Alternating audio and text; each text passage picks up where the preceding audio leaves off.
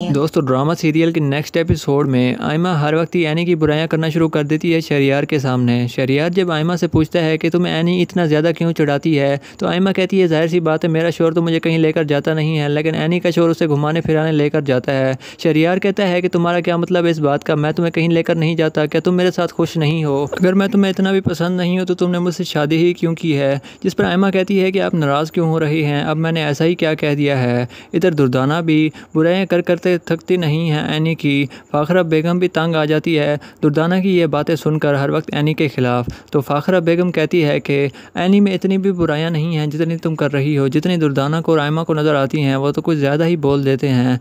लेकिन एनी अब कुछ भी नहीं कह रही, बल्कि वो तो अपनी बहन के लिए भी कुछ नहीं कर सकती। अब जो है शहरियार कुछ भी नहीं सोचता एमल के बारे में कि वो अब कैसी रह रही होगी, उसकी क्या तबीयत होगी। लेकिन एनी को और अफ़ान को उसका बहुत ही ज़्यादा ख्याल होता है तो वो घर जाकर उसकी तबीयत के बारे में पूछते हैं और अफ़ान जो है, एनी के बाप से भी बात करता है कि मुझे उम्मीद है कि शहरियार बहुत ही जल्द आपकी बेटी को लेने आएगा। फिर आपको भी किसी किस्म की कोई परेशानी नहीं होगी, जिसके बाद आप भी सुकून से रहें।